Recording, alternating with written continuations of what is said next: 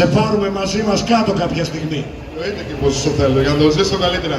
Ε, λοιπόν, ευχαριστώ πάρα πολύ την- τον Περιφερειάρχη, τον κύριο Κουρέτα που βρίσκεται σήμερα εδώ, τον Αντιπεριφερειάρχη Πολιτισμού και Αθλητισμού, τον κύριο Σουλούκο, τον κύριο Τζανακούλη, τώρα και δήμαρχο το λέω εγώ, δήμαρχο πάντα.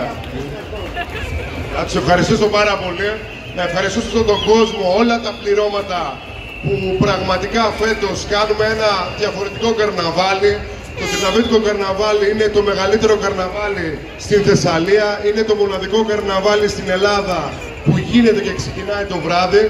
Από εκεί πέρα έχουμε 45 χρόνια παράδοση και ο κύριος Κουγιώνης ήταν αυτός που τους το είχε πραγματικά έφτασε το καρναβάλι σε ένα άλλο επίπεδο στο Δύναμο, το καθιέρωσε ώστε να το βρούμε εμείς σήμερα.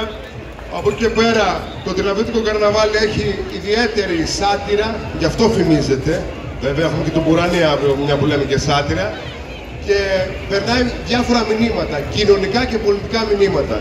Και έτσι και φέτος πε- περνάμε αυτά τα μηνύματα μέσα από τα πληρώματα και μέσα από τις εκδηλώσεις. Ευχαριστώ και πάλι και επίσημα κηρύξου- ε, κηρύττουμε την έναρξη της ε, καρναβαλικής μας παρέλασης για φέτος.